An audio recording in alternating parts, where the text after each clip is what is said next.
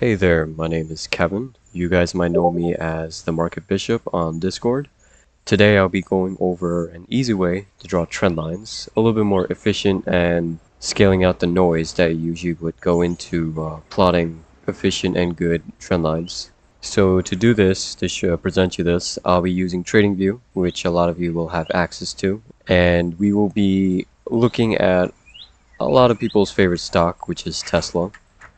On my chart over here, we have two separate colors. We have white, which represents the bullish candles, and black, which represents the bearish candles. If you want to ask me why I have white and black instead of green and red, I have absolutely no idea. Just guess I want to be different from the crowd and ended up taking a very stupid route, but you know, it's too late to change now, right?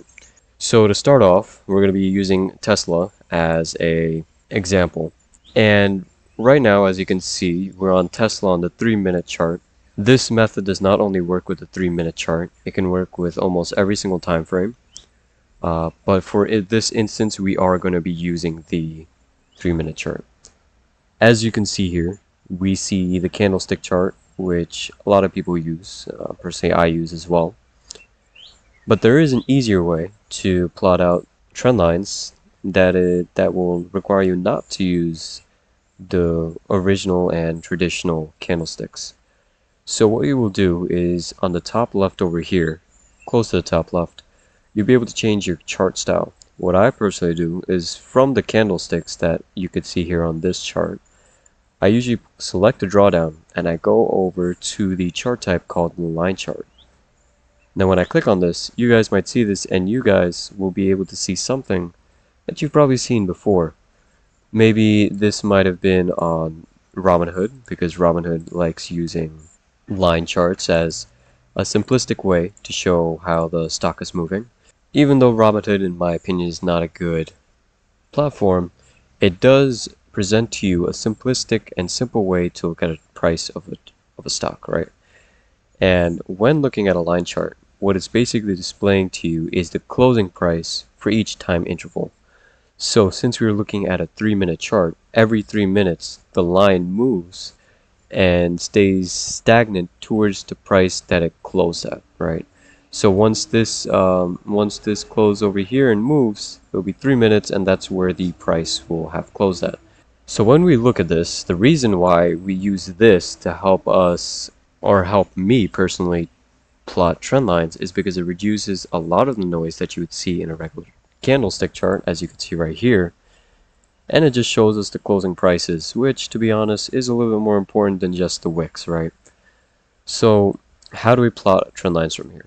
So you could see Tesla has a bullish sentiment, especially in the past, uh, you can say, you know, two hours.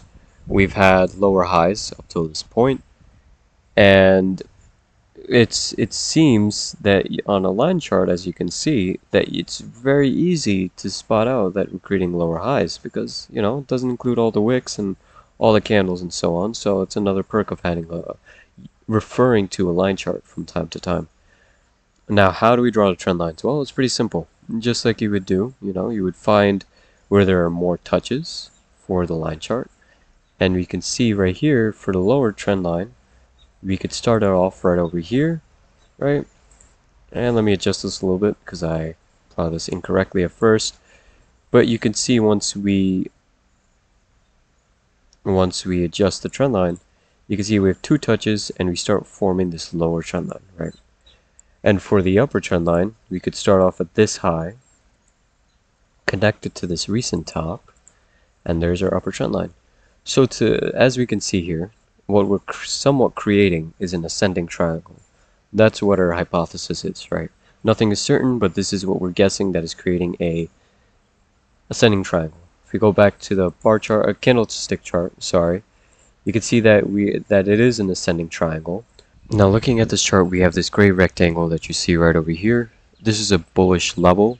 I was able to plot this using the Renko chart, but that is a different video for another day that I'll go over what the Renko chart is and how to use that to create bullish and bearish levels that you can refer to. Now back to what we were looking at. If we go and continue the timeline, we can see that Tesla not only did, uh, not only almost respected the lower trend line, but it's been respecting the upper trend line. Now, as we stated before, this is a ascending triangle. That's our hypothesis. So we'd want it to break above the upper trend line and close below, close above the upper trend line to find a good entry for calls, right? Or for longs if you're trading futures. And you could see here, we had few closes above the trend line, but there were nothing worth looking at. And we finally had this these bullish candles form above the trend line, which shows us that longs or calls is the best option to go to. Now you can see here, if we just continue playing it out, and we increase the speed, you can see that Tesla kept on continuing into the upside, and if we take it to the current time, you can see that it's it went gain. Let's see.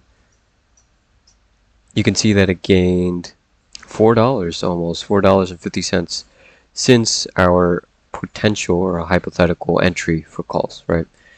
So you can see here that drawing trend lines using the line chart makes it a lot easier for people who are not aware on how to draw them.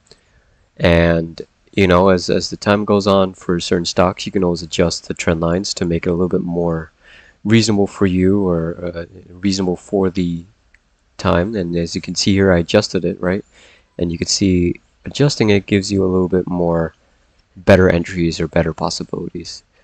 So this is an overview on how to use the line chart for plotting out upper and lower trend lines or trend lines in general. If you guys have any questions, you can leave in the comments below or message me on Discord. My Discord is the Market Bishop and hashtag 888. I'll have it in the description below. Pleasure teaching this and hope to have more videos in the future. Thank you.